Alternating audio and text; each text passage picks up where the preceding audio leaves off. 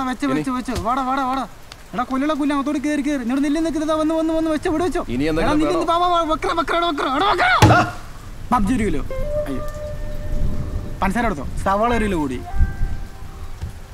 സവാള ഇല്ല. ഉണ്ടല്ലോ.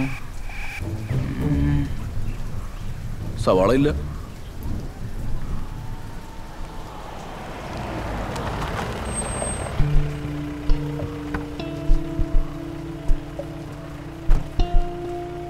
Yeah. Huh.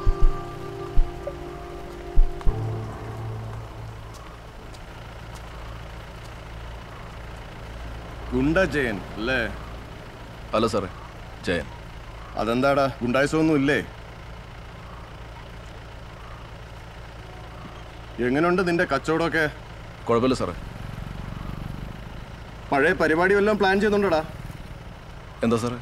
അബു കഴിഞ്ഞ ദിവസം ഇവിടെ വന്നിട്ടുണ്ടായിരുന്നല്ലോ. അവൻ കുറച്ച് ഉടായ്പൊക്കെ തുടങ്ങിയിട്ടുണ്ട്. സാറേ അതവൻ സിഗരറ്റ് മേടിക്കാൻ വേണ്ടി വന്നതാ. ഞാൻ ആ കൂട്ടുകാരൊക്കെ പണ്ടേ വിട്ടു വർഗീസ് സാറിന് അറിയാം. ഞാനിപ്പോ സ്റ്റേഷനിൽ കയറിയിട്ട് തന്നെ ഒരുപാട് നാളായി. ഒരു കാര്യം ചെയ് നാളെ നീ സ്റ്റേഷനിലേക്ക് ഒന്ന് വാ. സാറേ നാളെ എന്നൊന്ന് ഒഴിവാക്കി തരാം എന്താ ഞാൻ നിന്റെ സൗകര്യം നോക്കണോ? അല്ല സാറേ എന്റെ പെങ്ങളുടെ കൊച്ചിന്റെ കല്യാണം ഉറപ്പാ നാളെ. പണ്ട് വെട്ടാനും കുത്താനും ഒക്കെ നടന്നപ്പോൾ ആലോചിക്കണമായിരുന്നു. വർഗീസേ. നീ ഇതൊന്നും കാര്യമാക്കണ്ട ഞാൻ ഡീൽ ചെയ്തോളാം. അപ്പൊ ബാലൻസ് അപ്പോൾ നിനക്ക് സവാള വേണ്ടേ? വേണം തരൂ. ഹായ് ആഞ്ചല ഹലോ കേൾക്കുന്നുണ്ടോ? ചടങ്ങുകൾക്ക് അവിടെ വേണമെന്നുണ്ടായിരുന്നു പക്ഷെ അറിയാലോ ദുബായിലെ ചില തിരക്കുകളെ. ഓ. ലീവ് കിട്ടിയില്ല അതുകൊണ്ടാ. വിഷമായോ?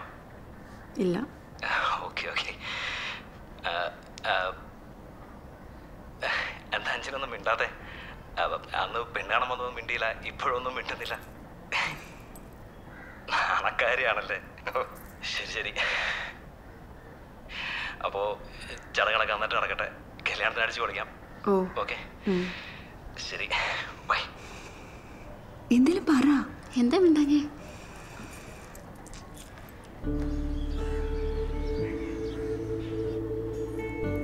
പട്ടാളത്തിലായിരുന്നല്ലേ? കേണലാ.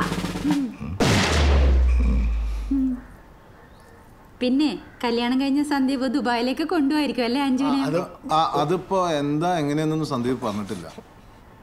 ജയ ഒരു മിനിറ്റ്. ആ മോളെ. എന്റെ ചേച്ചി ഇതൊക്കെ ഒപ്പ് ചോദിക്കേണ്ട കാര്യമുണ്ടോ?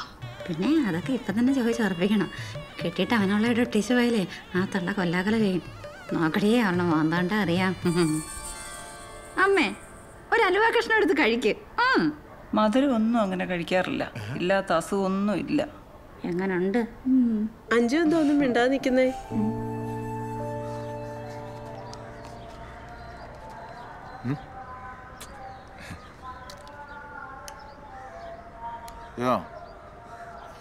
കാര്യങ്ങൾ ഇത്ര പെട്ടെന്നായോണ്ട് നിനക്ക് കുഴപ്പമൊന്നുമില്ലല്ലോ. ഏയ്. സന്ദീപിന്റെ ലീവിന്റെ പ്രശ്നങ്ങളുള്ളതുകൊണ്ടാണേ. ഇല്ല ശരി ഇതൊക്കെ നമുക്ക് അറിയാവുന്ന കാര്യങ്ങളല്ലേ? പിന്നെ ജയ നിനക്കൊന്നും തോന്നരുത്. കല്യാണത്തിന് എനിക്ക് നിൽക്കാൻ പറ്റില്ല. അതെന്ത് പരിപാടി ശരിയേട്ടാ ഇവിടെ ഡൽഹിയിലുള്ള മോളുടെ ഡെലിവറി ഡേറ്റ് എടുത്തിരിക്കുക എനിക്കും ലീലൊക്കെ അവിടെ പോയി നിൽക്കണം. ജയ ഞാൻ അങ്ങോട്ട് വരാം. അതെ ശ്രീധരത്തിന്റെ കാര്യമൊക്കെ. എന്റെ അളിയ അത് ഞാൻ സംസാരിച്ചോളാം. ആ അതെ ചെക്കൻ ഗൾഫിലാണെന്ന് പറഞ്ഞില്ലേ ദുബായ്? അതിന്? അപ്പോ നമുക്ക് അതുപോലെ കിട്ടണം. അല്ല ആരൊന്നും മിണ്ടിക്കണ്ടില്ല അതുകൊണ്ടാ. അതെ നല്ല വിദ്യാഭ്യാസം വേണം. വിദ്യാഭ്യാസം ഇല്ലെങ്കിൽ എന്താ പ്രൗഢിയില്ലേ? എന്തേ? നല്ല പഠിപ്പുള്ള പെങ്കോച്ച ഞാൻ സന്ദീപിനോട് കാര്യങ്ങളൊക്കെ പറഞ്ഞിട്ടുണ്ട്. എങ്ങനെയെങ്കിലും നടത്താൻ നോക്കാം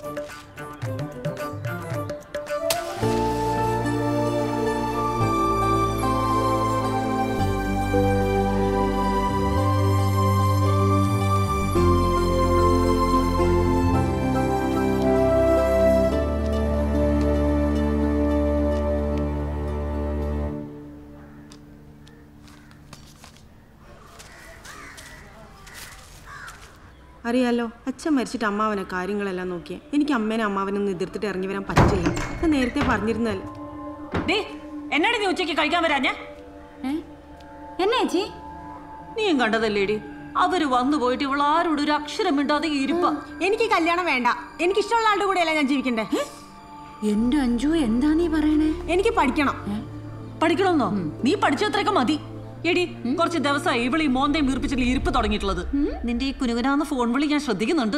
അങ്ങനെ വല്ലതും മനസ്സിലുണ്ടെങ്കിലുണ്ടല്ലോ. ആ വെള്ളം വാങ്ങി വെച്ചാൽ മതി. എനിക്ക് അയാൾ അത്ര ഇഷ്ടമൊന്നും ആയില്ല. ഉവ പത്രികയെ മുറിച്ച് കല്യാണം ഉറപ്പിച്ചപ്പോൾ അവളുടെ ഒരു വേഷം കെട്ട്. എടി നിന്റെ അച്ഛൻ അത്ര ഇഷ്ടപ്പെട്ടിട്ടൊന്നുമല്ല ഞാനും കെട്ടിയത്.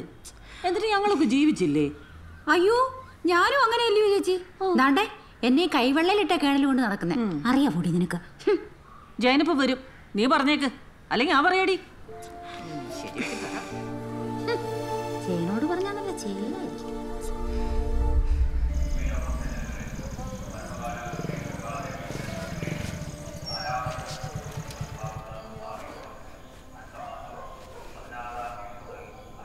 എന്താണ് ഉദ്ദേശം? അമ്മ എന്നോട് കുറച്ച് കാര്യങ്ങൾ പറഞ്ഞു. പക്ഷേ ഞാനത് അത്ര കാര്യമാക്കിയിട്ടില്ല നിന്റെ മനസ്സിൽ അങ്ങനെ എന്തെങ്കിലും ഉണ്ടെങ്കിൽ നീ പറയാതെ തന്നെ ആളെ ഞാൻ കണ്ടുപിടിക്കും. പക്ഷേ ഇപ്പം അതിന്റെ ആവശ്യമുണ്ടെന്ന് എനിക്ക് തോന്നുന്നില്ല. അഥവാ അവനെ അന്വേഷിക്കേണ്ടി വന്നാൽ അവനെ പിന്നെ വേറെ ആരും അന്വേഷിക്കേണ്ടി വരില്ല. ചെറുക്കന്റെ വീട്ടുകാർക്ക് വാക്ക് കൊടുത്ത് തീയതി നിശ്ചയിച്ചു. നിന്നെ വളർത്തി ഇത്ര ആക്കാങ്കി അന്തസ്സായിട്ട് കെട്ടിച്ചു വിടാനും എനിക്കറിയാം. ചേട്ടാ മതി. പോട്ടെ. എന്താടി അഞ്ചു? ആ ചേട്ടാ. അവളുടെ ഇങ്ങനത്തെ കാര്യങ്ങൾ വല്ലതും അറിയാം നിനക്ക്? ഏ നമ്മളൊന്നും പ്രതീക്ഷിക്കണില്ലല്ലോ. ഞാൻ വേണമെങ്കിൽ അവളുടെ കൂട്ടുകാരോടെങ്കിലും അന്വേഷിക്കാം. തൽക്കാലം വേണ്ട. ഞാൻ അന്നേ പറഞ്ഞത് ഈ ബാംഗ്ലൂരും കോണാത്തിലൊന്നും വിട്ട് പഠിപ്പിക്കേണ്ടെന്ന്.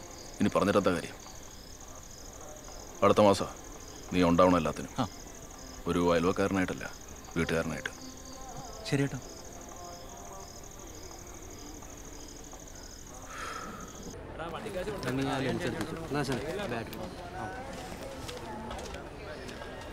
ആടോ റജി ഈ പെണ്ണിന്റെ സ്വന്തക്കാരെയും ബന്ധക്കാരെയൊക്കെ പരിചയപ്പെടുന്നു കേട്ടോ. അവസാനം ടി വി കിട്ടുമ്പോ അവരിലെ വരില്ല എന്നൊക്കെ പറഞ്ഞിട്ട് ബാലൻസ് കാശ് കിട്ടൂല. ആ നീ ആ കുന്നം കൂടെ ചവറക്കി എടുത്തോ. ഞാനിപ്പോ എല്ലാരും വിളിക്കാം. പത്മാമേ. ജലജേജി എല്ലാരും വിളിച്ചേ. ചേച്ചി ചെല്ലേ പത്മേച്ചി. ഇത് ജലജേജി പത്മാമില്ലേ? പെണ്ണിന്റെ അമ്മ പെണ്ണിന്റെ അമ്മയുടെ അനിയത്തിയ. ഞങ്ങളെല്ലാം നന്നായിട്ട് പിടിക്കണേ. റജി ഷൈമോനെ കൂടെ കാണിച്ചെടുക്കണേ അത് ജലജേജിയുടെ ഭർത്താവാ. കേണല. ഇതാണ് പത്മാമ്മ പെണ്ണിന്റെ അമ്മ. ഇത് റെജി ചായ കുടിക്കാം. വേണ്ട ചേച്ചി. അളിയോ നിന്നെ ഇത് സജേച്ചി ഇവരുടെ അനിയത്തിയാണ് ഇത് ചേച്ചിയുടെ ഭർത്താവ് സഹദേവൻ അളിയൻ. ഇത് സൂര്യേച്ചി നിനക്ക് അഡ്വാൻസ് ഒന്നില്ലേ ജയൻ ചേട്ടൻ? പുള്ളിയുടെ ഭാര്യ. അല്ല കഴിഞ്ഞില്ലേ മോനെ? പൊക്കോട്ടെ. ഓ ആയിക്കോട്ടെ. വീഡിയോ മോനെ എന്റെ കുറച്ച് കൂട്ടുകാർ രാത്രി വരുന്നുണ്ട്. അപ്പൊ അവർ വരുമ്പോഴേ നല്ല വെട്ടവും വെളിച്ചവും ഒക്കെ അടിച്ച് അലുവ പോലെ അങ്ങ് എടുക്കണം.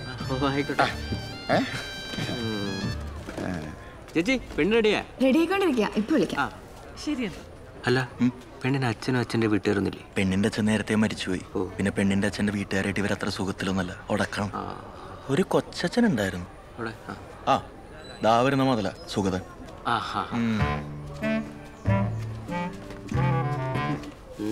പന്ത്രണ്ടാക്കി വെച്ചേക്കണം ഈ അടുത്തെങ്ങാൻ ഇത്രയും കൂതറ പന്തൽ ഞാനെങ്ങും കണ്ടിട്ടില്ല. അതെ അതെ. കുഞ്ഞപ്പാ ഓ. ഒരു മഴ അങ്ങോട്ട് പെയ്താൽ ചോരും എന്നാ പിന്നെ മഴ പെയ്യട്ടെ നമുക്കെന്നാ? പെയ്യട്ടെ കുഞ്ഞപ്പൻ തന്നെയാണ്. കിട്ടാൻ ചായ കിട്ടുമാവോ അവിടെ. ഏ അത് വല്ല നോക്കാം അതാണ് നല്ലത്.